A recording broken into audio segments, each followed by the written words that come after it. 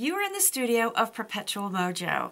I am a sucker for whimsical architecture, so the last time hubby and I were in Las Vegas, I took some cool pictures of some of their amazing sculptural buildings. I want to use those photos to show you how you can add some family fun to your photos. This is a picture of the Luxor, the hotel that we stayed at in Las Vegas, and it's a giant pyramid, and out in front is this lovely Sphinx. So let's get started. I want to put these two together.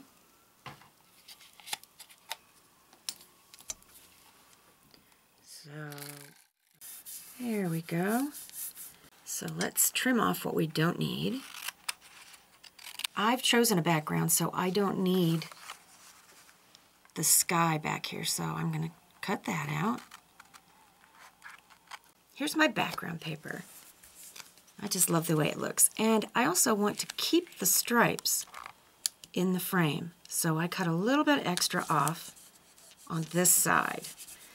Now I have photos of my kidlets, my brother's grandchildren. And I bought a crazy hat that I put on them.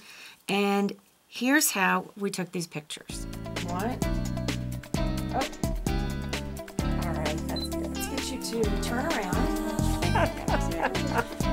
Uh, some of the placements are obvious.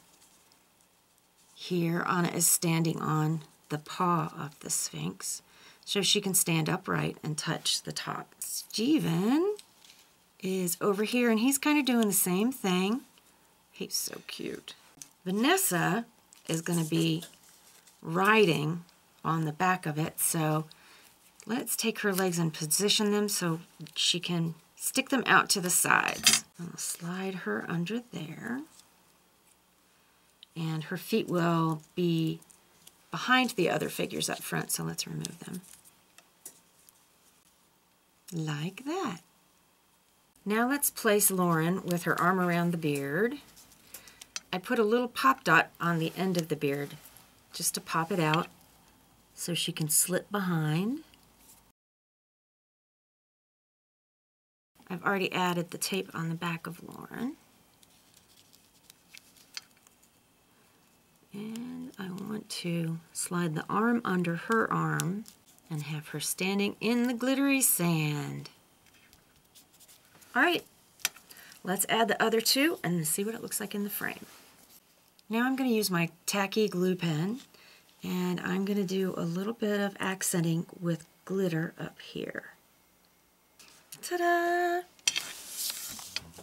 And then the frame goes on. I like it. The possibilities with this project are endless, and they are sure to bring a chuckle to everybody that comes by and sees them. I'm Candace. Stay crafty, my friends.